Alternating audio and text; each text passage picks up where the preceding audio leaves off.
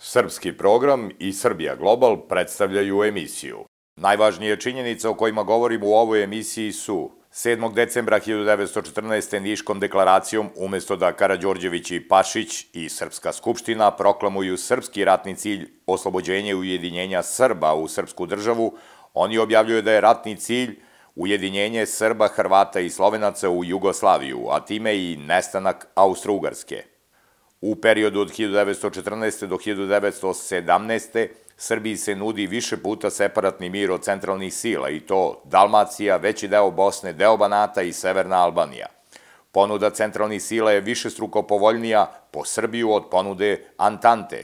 Pašić i Aleksandar Karadžorđević sve ponude odbijaju i uvode Srbe u genocid. Krajem novembra 1918. odlukom Podgoričke skupštine Aleksandar Karadžorđević je oteo svom dedi kuću, u kojoj ga je ovaj podizao i zabranio mu da se u nju vrati, čime su zapravo stvorene ideološke osnove za formiranje crnogorske nacije na telu srpskog naroda.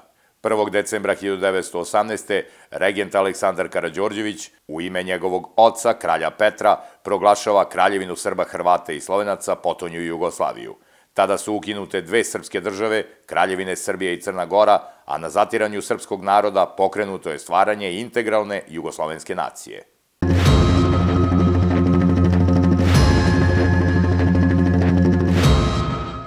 Vreme kada radimo ovu emisiju, u nedelji pred nama i onoj za nama, dešavale su se sudbonosne stvari za Srbiju 1914. i 1918. godine.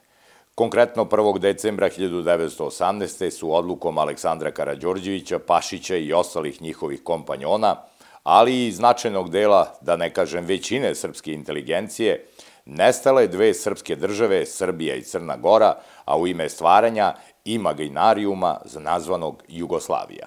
U periodu od 24. do 29. novembra iste 1918. desila se i famozna Podgorička skupština koja je izglasala ukidanje Crne Gore i dinastije Petrović u korist Karadžorđevića i ulazak Crne Gore u maločas navedenu izmišljotinu Karadžorđevića. Četiri godine ranije, 7. decembra 1914. Niškom deklaracijom zvanično je proklamovan ratni cilj Srbija, to je ujedinjenje Srba, Hrvata i Slovenaca u zajedničku državu. Taj cilj objavljen je, kako rekoh u Nišu, u sred Kolubarske bitke, a samo par dana pošto je Srbija od strane Nemačke ponuđen separatni mir i samo par dana pošto je načelnik Srpske vojne komande Vojvoda Putnik tražio od regenta Aleksandra i Pašića da potpišu separatni mir sa Austro-Ugarskom. U naredne tri godine Srbiji će vrlo povoljni uslovi za mir biti nuđeni pre svega od Nemačke, kako bi izašla iz rata. A sve te ponude regent Aleksandar i Pašić su odbili uz prilično nesuvisla obrazloženja i uveli Srbe u stradanja u ratu koje će iznositi 1,3 miliona poginulih ili skoro trećina ondašnje naše populacije. Priču će zaokružiti, kako reko smo, 1. decembra 1918. stvaranjem Kraljevine Srba, Hrvata i Slovenaca, koje će prerasti u Kraljevinu Jugoslaviju, čime će nestati dve srpske države, Kraljevine, Srbija i Crna Gora, i u kojoj će Srbi živeti sa Hrvatima i Slovencima, koji su se protiv njih u ratu borili na strani Austro-Ugarske do zadnje kapi, znoja i krvi. Najcrni dani, dani između 24. novembra i 7. decembra, sa naglaskom na 1. decembar kada je stvorena Jugoslavija. To su zaista najcrniji dani u srpskoj istoriji, dani u kojima je zapravo nestala Srbija, u kojima je zapravo ugašena srpska ideja, ugašen na neki način i srpski narod, jer je sa stvaranjem Jugoslavije započet proces stvaranja integralnih Jugoslovena. Dakle, ideja regenta Aleksandra Karadžorđevića nije bila samo da stvori Jugoslaviju kao nekakvu državnu tvorevinu. Ta ideja e, bila je opasna po srpski narod i ubistvena po srpski narod, pre svega zbog činjenice jer je ona podrazumevala stvaranje nove jugoslovenske nacije, integralne jugoslovenske nacije, um, zatiranjem srpskog naroda, odnosno spajanjem, kako je on govorio, troplemenog srpskog, hrvatskog i uh, slovenačkog naroda u jednu jugoslovensku naciju. Zaista mi se kao Srbi nikada nećemo oporaviti od te ideje, zato što je nju nametnula dinastija koja je nama predstavljena kao srpska dinastija, a zapravo se radi o jugohrvatskoj dinastiji Karadžorđević, koja zapravo, kao što smo već objasnili u brojnim prethodnim emisijama, uradili smo do desetak emisija na tu temu u posljednje tri meseca, koja zapravo se ne može nazvati uh, srpskom dinastijom ni po jednom uh, tako parametru nije bila niti vlasnik nekakvog um, bitnog poseda u Srbiji većeg tako, niti je učestvovala u stvaranju Srbije kao države. Dakle, to su ti najgori dani, a kao tri uh, ovako najgora punkta uh, izdvojili smo Nišku deklaraciju, uh, Podgoričku skupštinu i naravno samo stvaranje Jugoslavije 1. decembra, no to stvaranje Jugoslavije je samo jedno proglašenje, tako, to je proglašenje koje je izvršio regent Aleksandar i to, pazite, u ime svog oca, kralja Petra, jer u tom trenutku kada on proglašava Jugoslaviju, pazite, gasi jedan narod, gasi državu Srbiju i gasi državu Crnu Goru, koja je ne zaboravimo nikada, država srpskog naroda po sobstvenom tako zakonu, po sobstvenim svim mogućim tako dokumentima, Crna Gora je takođe država srpskog naroda. Da podsjetimo, Crna Gora je nastala kao država koja je u, da kažemo, najgorem i najcenjem turskom ropstvu čuvala kosovski zavet i zavet o oslobođenju i ujedinjenju srpstva. Dakle, Crna Gora nije ono što kao država, što, što nam predstavljaju danas, je tako? Crna Gora je kao država zapravo bastion srpstva. Znači, jedan um, mali prostor uh, oko Lovćena koji je imao zavet da oslobodi i ujedini ostatak srpstva. I to pokazuju apsolutno svi dokumenti, izvorni dokumenti, pre svega crnogorskih vladara, tako, porodice Petrovića. U tom smislu, um, kao treći, e, veoma bitan, da kažemo, sloj ove emisije, izdvojili smo i priču o separatnom miru, odnosno separatnim mirovima, ako se ošte takva konstrukcija može iskoristiti. Zašto je to važno? Pa važno je zato što projekat ukidanja srpskog naroda u sebi sadrži ideju o autogenocidu. I to je zaista nešto što, o čemu se nikada nije do sada progovorilo u srpskoj javnosti, pogotovo srpska historiografija nije govorila o tome, što je zaista užasno, a, jer je zapravo a, a, Aleksandar Karadžorđević i njegov verni pratilac a, Nikola Pašić, oni su imali mnogo šansi i mnogo prilika da izbegnu e, bukvalno genocid koji je sproveden nad srpskim narodom u Prvom svetskom ratu. Ne zaboravimo da je oko 30% um, um, državljena tadašnje Srbije uh, izgubilo život na ovaj ili onaj način, jel tako, u Prvom svetskom ratu. Ako to nije genocid, ja ne znam šta je onda definicija uh, uh, genocida.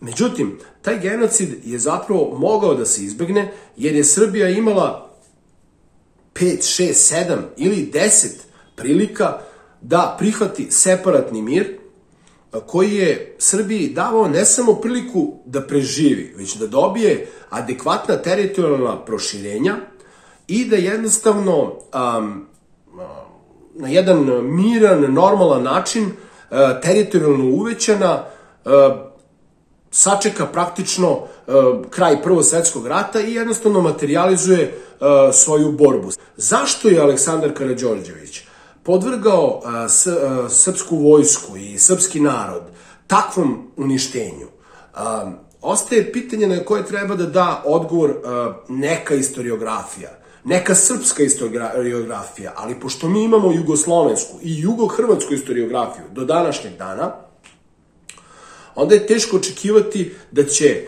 nekakva službena, nekakvi službeni istoriografi dati odgovor na to pitanje. Nije nama uh, ni lako ni udobno da govorimo o ovim temama na ovaj način.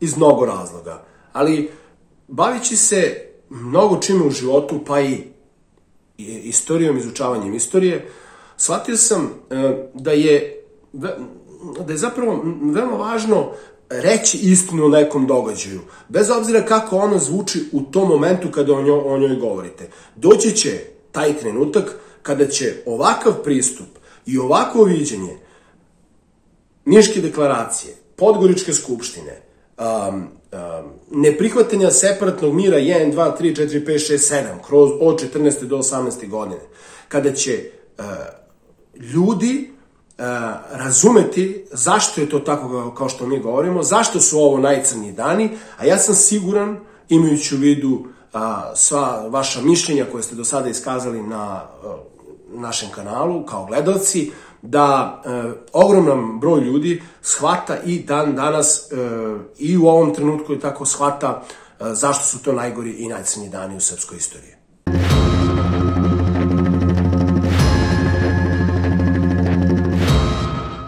Niška deklaracija doneta je 1914. godine 7. decembra u Srpskoj ratnoj prestonici Nišu u vojnom domu gde je zasedala Skupština.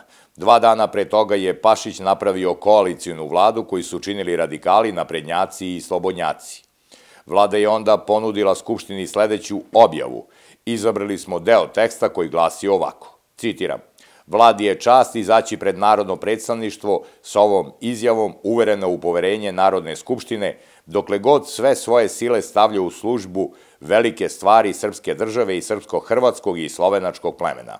Uverena u rešenost celoga srpskog naroda da istraju u svetoj borbi za odbranu svoga ognjišta i svoje slobode, vlada Kraljevine smatra kao svoj najglavniji i u ovim sudbonosnim trenucima jedini zadatak da obezbedi uspešan svršetak ovog velikog vojevanja koje je u trenutku kada je započeto postalo ujedno borbom za oslobođenje i ujedinjenje sve naše neslobodne braće, Srba, Hrvata i Slovenaca.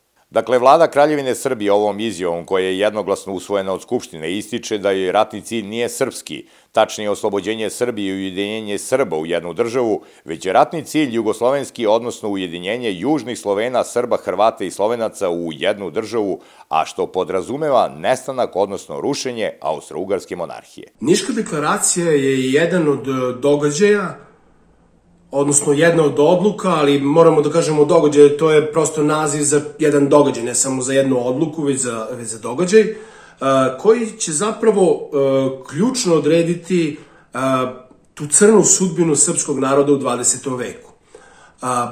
Šta je zapravo ono što je najintrigantnije, najneverovatnije u odlukama Niške te skupštine u kojoj učestvuje tako Narodna skupština, kralj, predsjednik vlade, vlade i tako dalje. Pa pre svega, um, najintrigantnije je to što u trenutku kada praktično uh, ni de facto ni de jure srpska vlada i srpska država zapravo više ne postoje, jer, pazite, Beograd je okupiran e, tako um, znači sve ono što su ključne, da kažem, kote i mesta i ovaj, um, institucije države praktično su pod okupacijom.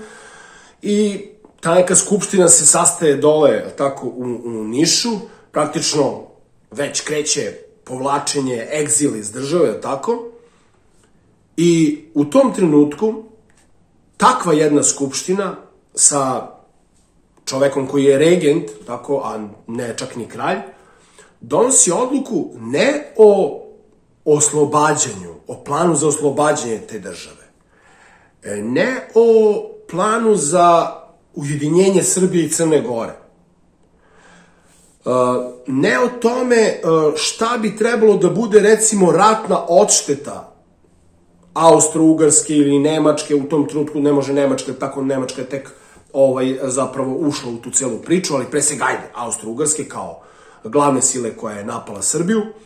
Dakle, Srbija u tom trenutku, odnosno ta skupština Niška i a, regent, tako, i Pašić kao predsjednik vlade, znači oni ne donose odluku o tome da šta će, kako će se zemlja osloboditi ili šta će biti uh, finansijska ili teritorijalna kompenzacija Srbiji za sve ono što je doživjela i preživjela od svojih neprijatelja, već donose odluku o uh, stvaranju Jugoslavije.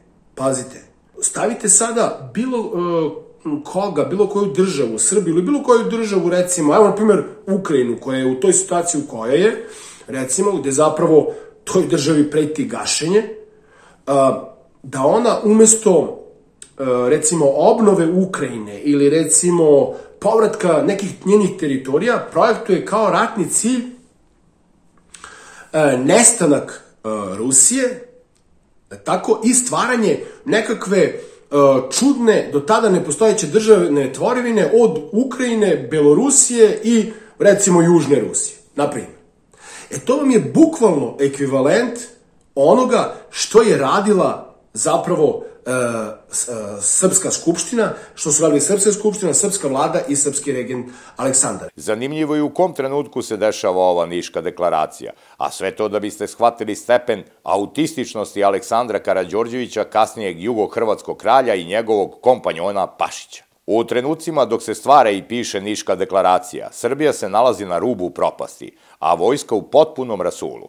Načelnik Srpskog generalštaba Vojvoda Putnik piše dramatično pismo Vrhovnoj komandi, odnosno Pašiću i Aleksandru Karadžorđeviću, u kojem ih obaveštava da nema više kome da komanduje, jer se srpska vojska raspala i nalazi se u takvom odstupanju da, kako to Putnik kaže, dok se osuši mastilo na moje naredbi, ona postane besmislena jer se situacija na terenu pogorša gore nego što možete da zamislite i u najcrnim slutnjama.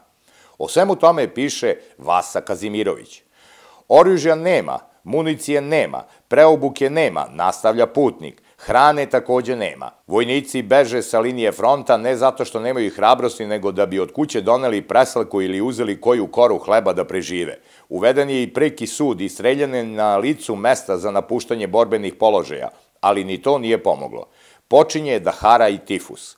Predlažem sklapanje separatnog mira kako bi se spaslo ono što se spasti može. Aleksandar Karadžorđević na ovo pismo Vojvode Putnika odgovara da Putnik previše drami i savjetuje mu da se malo odmori jer je stari bolestan i da im nema druge nego da se bore do zadnjeg.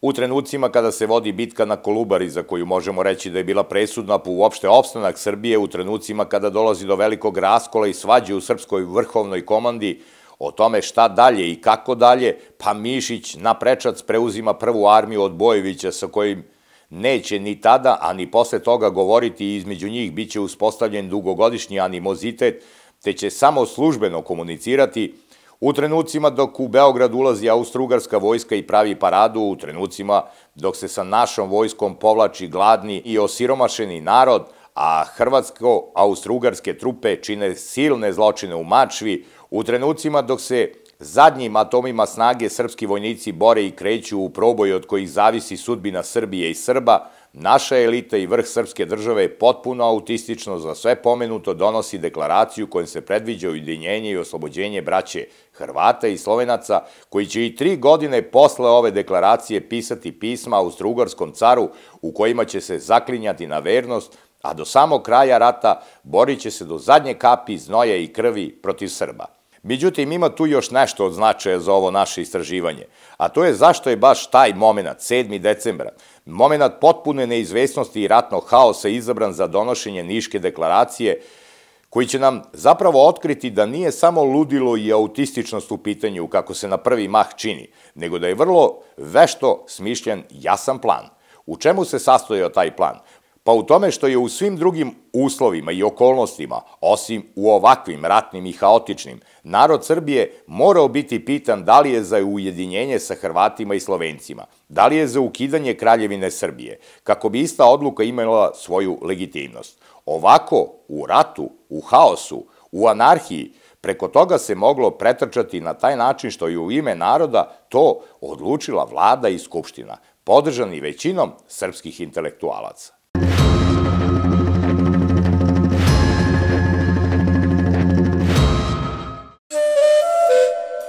Knjige Aleksandra Šargića promenile su pogled na srpsku istoriju i etnologiju. Knjige Nije bilo seobe Srba na Balkan, Srpski pogled na svet i praistorija Srba pružaju niz kritičkih dokaza koji pobijaju laži o našem poreklu, starosti srpskog jezika i običaja i daju realnu sliku istorijskih izvora umesto nametnute paradigme o narodu bez korena. Knjige se naručuju putem maila srpska prodavnica at gmail.com. Cene knjiga možete vidjeti na vašim ekranima, a na mail je potrebno poslati ime, prezime, adresu, grad i kontakt telefon, jer se knjige šalju post ekspresom.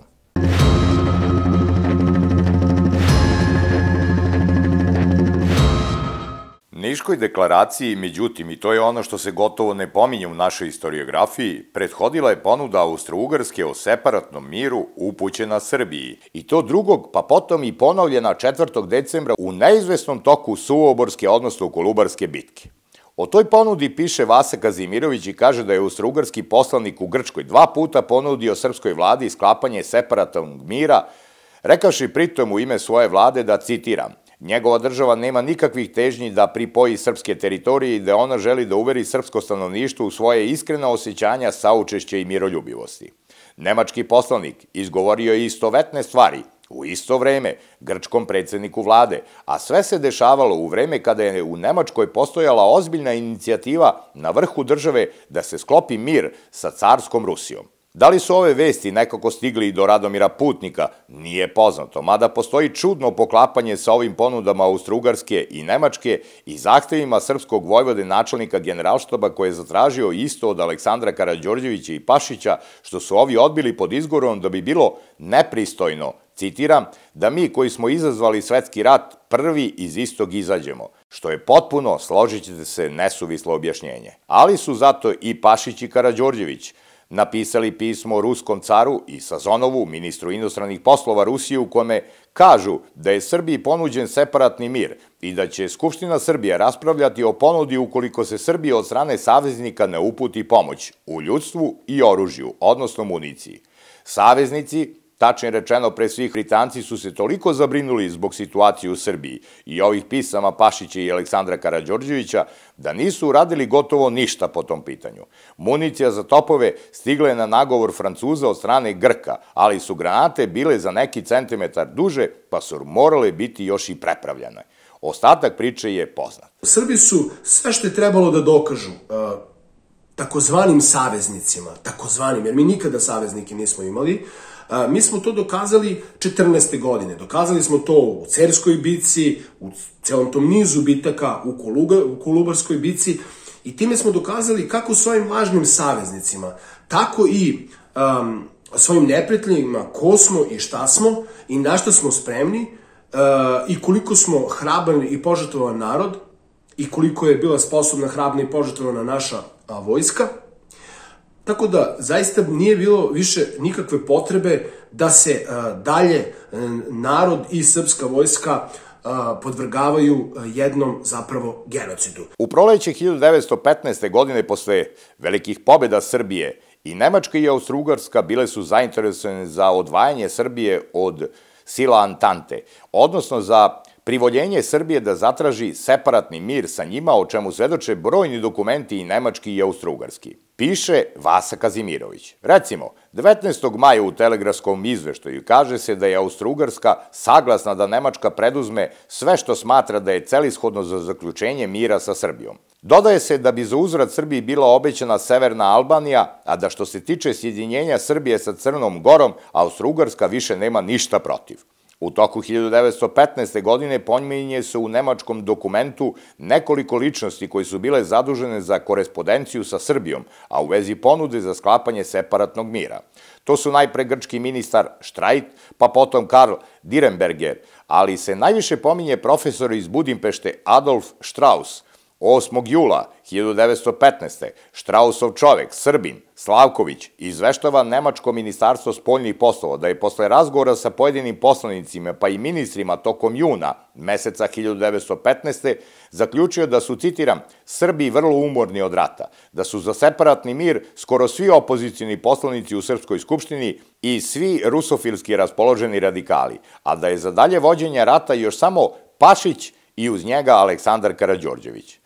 Ruski list Utro, Rosiji, pisao je tada da je Nemačka ponudila Srbiji Dalmaciju, Bosnu i Hercegovinu i Severnu Albaniju, kao i veći deo Banata pod uslovom da istupi iz rata i ostane neutralan do kraja istog.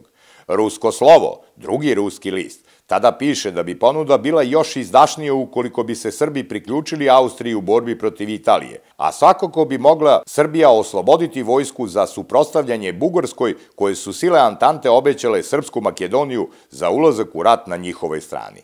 Rusko slovo takođe ističe da je Pašić na sve ponude odgovarao negativno. 26. septembra 1915. neposredno pred napad Nemačke, Austrougarske i Bugarske na Srbiju, takođe stoji ponuda pre svih Nemačke za navođenje uslova koje Srbija ima postaviti za sklapanje separatnog mira, piše Vasa Kazimirović. Tim povodom još od leta 1915. u Nišu je boravio nemački agent Albin Kučbach, On je u svojim memoarima navodio da mu je Pašić tada u Nišu rekao da je Srbija dobila veliku pomoć od sila Antante i da je rešena da sa njima ide do pobede ili propasti, te da ne može pregovarati sa Nemačkom o miru. O kakvoj velikoj pomoći sila Antante je govorio Pašić, nikome, pa ni nama, nije poznato.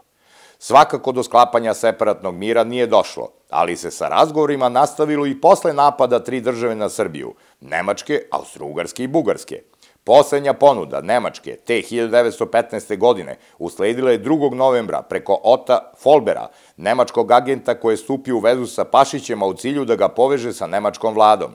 Ponuda se sastojala u sledećem. Srbija bi dobila izlaz na Jadransko more i poveljne trgovinske ugovore sa Nemačkom i Austro-Ugarskom, Pašić je ovu ponudu odbacio kao nepovoljnu. Potom je usledila albanska Golgota, po mišljenjima mnogih potpuno nepotrebna, jer bilo i drugih rešenja koje su sva do jednog bila odbačena, recimo udar na Bugarsku dok još nije izvršila mobilizaciju kako je to predlagao Putnik, ili kontraudar sa Kosova, što je predlagao Mišić. Pašić i Aleksandar Karadžorđević su sve to odbacili jer su naveli da to nije bio interes saveznika. Visoki oficiri srpske vojske nisu se slagali sa strategijom vrhovne komande. Čak je i Mišić jednom predlagao separatni mir, a sve to možda najbolje opisuje komandant Vardarske divizije prvog poziva general Dragutin Milutinović u razgovoru sa vrhovnim komandantom regentom Aleksandrom na Krfu 1916. On kaže tada, nikakva priprema nije izvršena za naše odstupanje pred znatno nadmoćenim neprijateljem. Bez generalne bitke izgubili smo mnogo vojske i svu artiljeriju. Milutinović je smenjen posle ovog razgovora. Drugi srpski general, Damjan Popović, piše sa krfa svoje supruzi Milevi, a u pismu Aleksandra zove nadimkom Mali, a Pašića naziva Judom. Za razliku od zvaničnog državnog vrha Srbije, srpski oficiri, ali i crnorukci su realnije procenili ratnu situaciju. Oni su smatrali da bi sklapanjem separatnog mira sa centralnim silama Srbija više dobila nego kasnijom pobedom Antante – Da podsjetim, u proleće 1915. Nemci za slučaj sklapanja separatnog mira nude Srbiji severni deo Albanije, veći deo Bosne i deo Banata, dok bi Beograd u slučaju pobede sila Antante morao da prihvati drugačije geopolitičke preraspodele. Albanija bi išla Italiji, Makedonija Bugarskoj, Banat Rumuniji. Kada su u jesen 1916. na američku inicijativu otpočeli preliminarni pregovori sila Osovine i Antante o sklapanju mira bez pobednika i poraženih, a posebno kada je 1917. Beč ponudio tajne pregovore o separatnom miru posredstvom Siksta Burbonskog, pokazalo se da je insistiranje na savezu sa Antantom po svaku cenu i uz ogromne žrtve Srba od strane regenta Aleksandra bilo potpuno besmisleno. Što je najgore, Beč je bio spreman da u grubim crtama obnovi tu nemačku ponudu Srbiji. Visoki srpski oficiri, ali i crnorukci su postavili pitanje javno – Čemu silne žrtve i stradanja Srba od jeseni 1915. Čemu strahote albanske galgote, kada se očigledno moglo i bez toga? Odgovorni su bili, prema njihovom mišljenju, Pašić i Aleksandar, koji su sve ponude odbijali.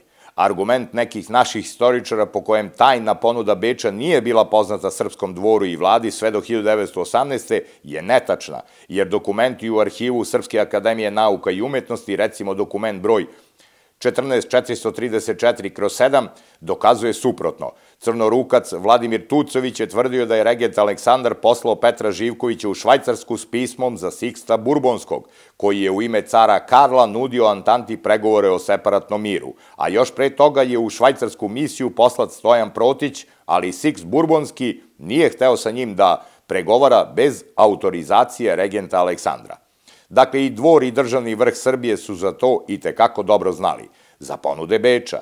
Potom je na Krfu usledio obračun sa crnorukcima, a pripremao se i obračun između Pašića i Aleksandra Karadžorđevića, a kako se kaže u knjizi Diplomatska pozadina ujedinjenja Srbije i Crne Gore izlato u Beogradu 1959. Jedini razlog što se Aleksandar Karadžorđević nije sa Pašićem razračunao na isti način kao sa crnorukcima i Japisom na krfu, jeste što je Pašić tada na sva zvona najavio započinjanje energične akcije protiv crnogorskog kralja Nikole.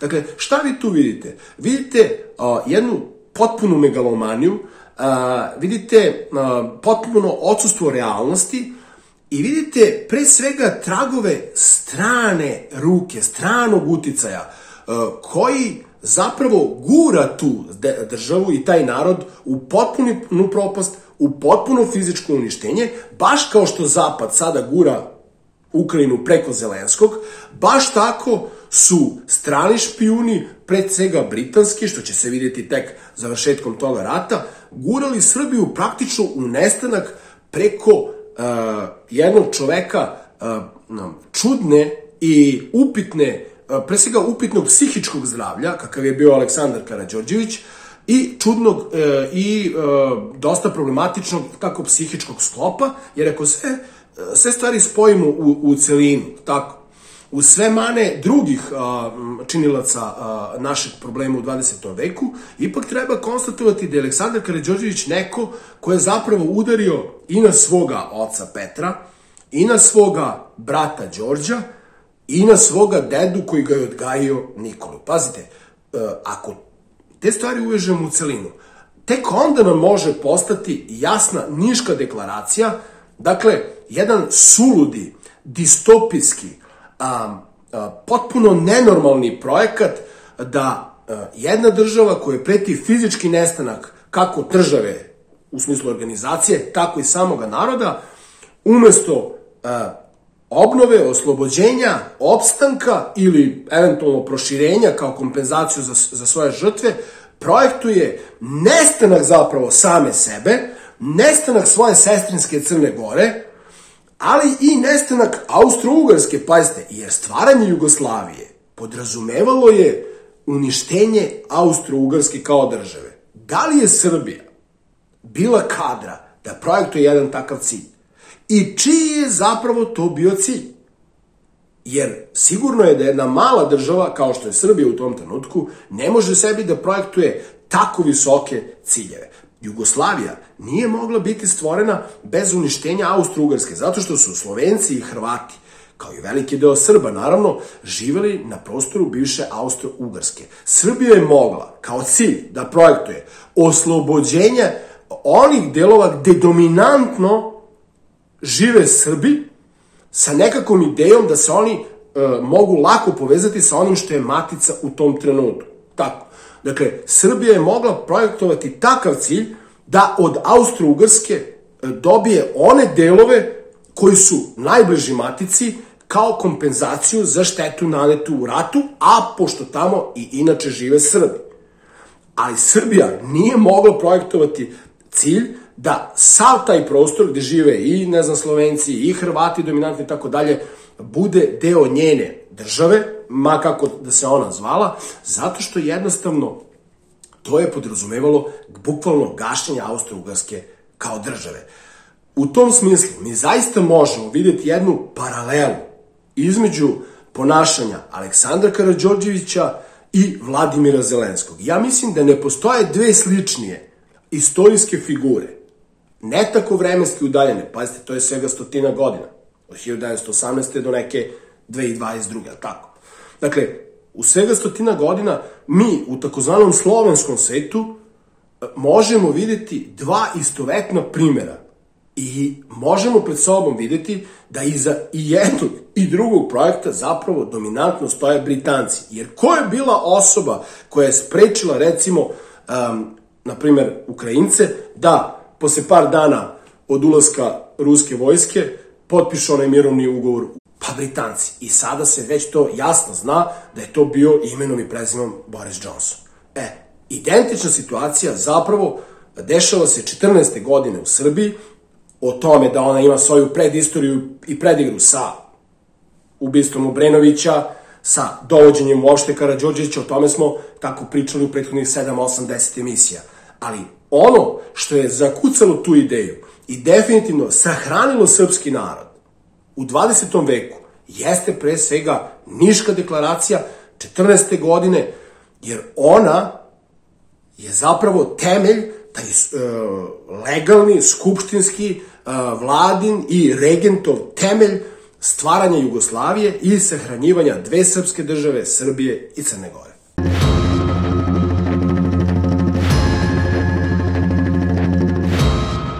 Velika narodna skupština srpskog naroda u Crnoj Gori, poznatija pod nazivom Podgorička skupština po završetku Prvog svetskog rata, zasedala je od 24. do 29. novembra 1918. godine u Podgorici.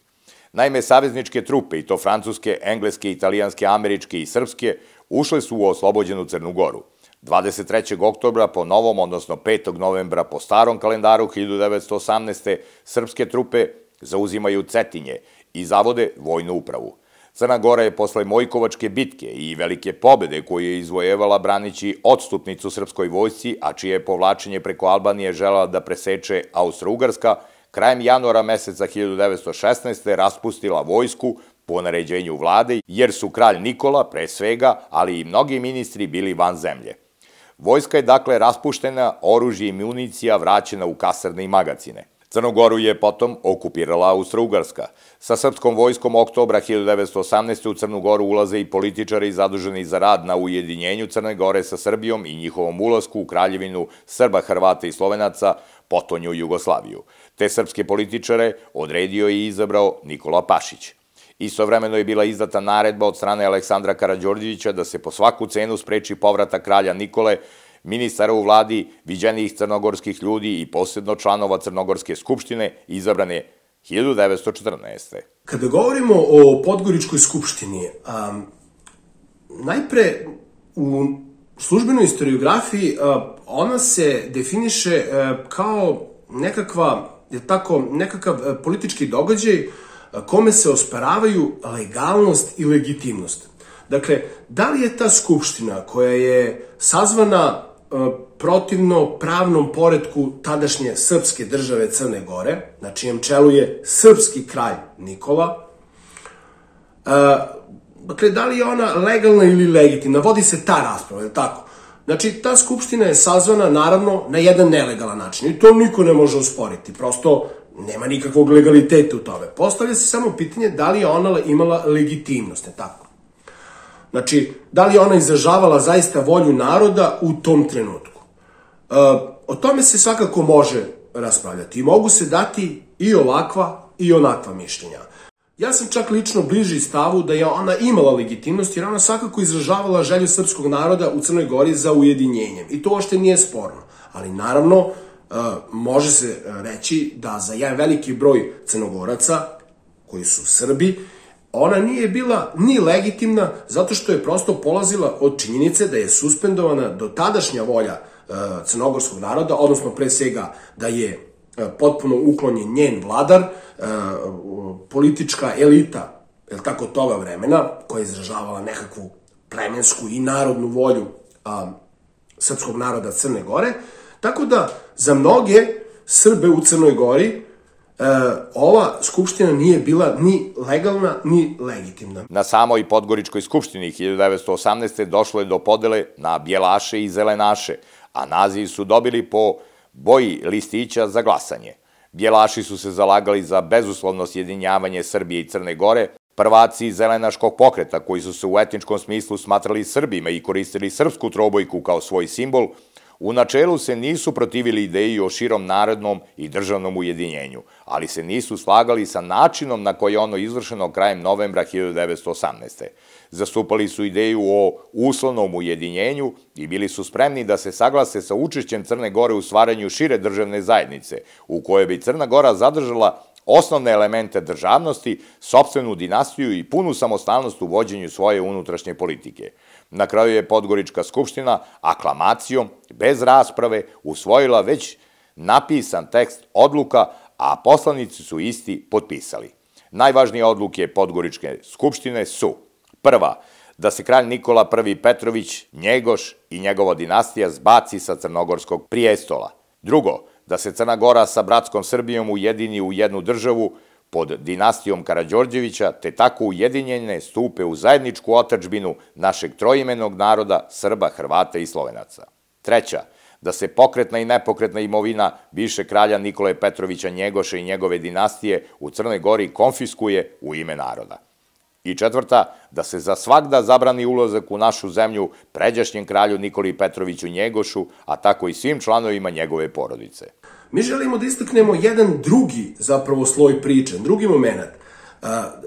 Od sve te legalnosti i legitimnosti i sve te visokoparne priče, tako, gde se mogu lomiti koplje na nekakav sofistički način, logicirajući i slično, mnogo je važnija ta ljudska dimenzija, koja čini mi se daje puni odgovor na pitanje e, o karakteru te skupštine. Pazite, glavne odluke te skupštine, znači u svojim prvim tačkama, e, imaju e, sledeće, dakle, e, sadrže e, sledeću strašnu činjenicu, da je jedan unuk, Aleksandar Karadžorđević, koji je porastao, odhranjen, rođen, odhranjen, porastao, um, stekao sva prva znanja o životu, na dvoru i u kući svoga dede, kralja Nikole Petrovića, na Cetinje tim odlukama tom dedi zabranio da se vrati u tu kuću gde je njega samog podizao. Pazite, znači Nikola Petrović je na tom dvoru, u toj kući, podizao i hranio Aleksandra Karadžorđevića da bi mu ovaj tu kuću oteo 18. godine i zabranio mu da se u tu kuću vrati. Vidite, u srpskom narodu ima, e, postoji to verovanje u, u, u to prokledstvo koje ono ide do, do šestog, do sedmog kolena. Dakle, znamo i za ubistva, znamo i za krađe, znamo i za lopoluke, ali um, ovako težak događaj, ovako simboličan događaj, čini mi se da je morao ostaviti uh, zaista uh, užasne i tragične posljedice uh, na telu srpskog naroda, a ta najtragičnija posljedica jeste zapravo stvaranje crnogorske nacije – Jer crnogorska nacija je stvorena zapravo onog dana kad je Podgorička skupština donela svoje odluke. Onoga dana kad je unuk svome dedi zabranio da se vrati u rođenu kuću, tamo da je podizao svoga toga unuka koji mu tu kuću otima, toga dana je stvorena crnogorska nacija. To su temelji crnogorske nacije.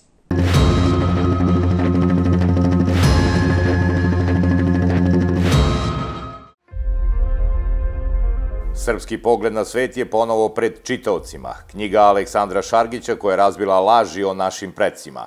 Srpski pogled na svet otkriva da naši preci nisu bili mnogobošci, već su verovali u vrhovnog trojičnog boga. Ovo je prva naučna rasprava koja razvoj misli o prirodi i bogu razvrstava u arheološke periode. Novo izdanje donosi dve knjige u jednoj, jer je srpskom pogledu na svet pridodat kratki vodič kroz praistoriju Srba – Srpski pogled na svet naručite putem maila srpskaprodanica.gmail.com. Navedite ime, prezime, grad i mobilni telefon. Cena je 1500 dinara plus troškovi Post Ekspresa.